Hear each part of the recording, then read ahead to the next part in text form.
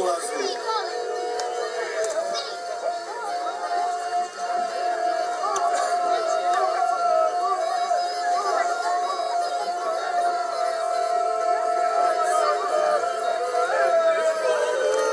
Pensa, Tony, que já chega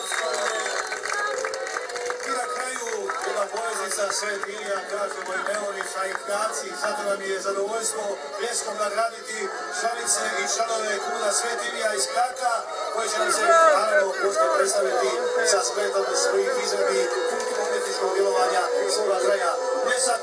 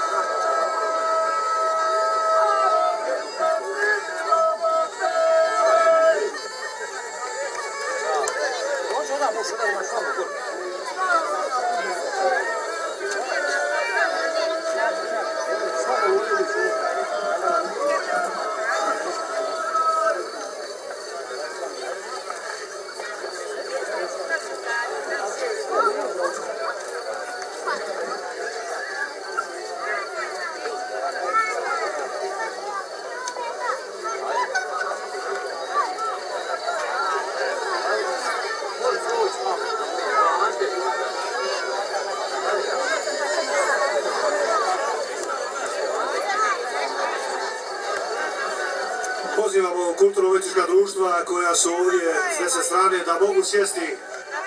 Znaju redoslijed nastupa, pa izvolite na ove stolice koje su za vas.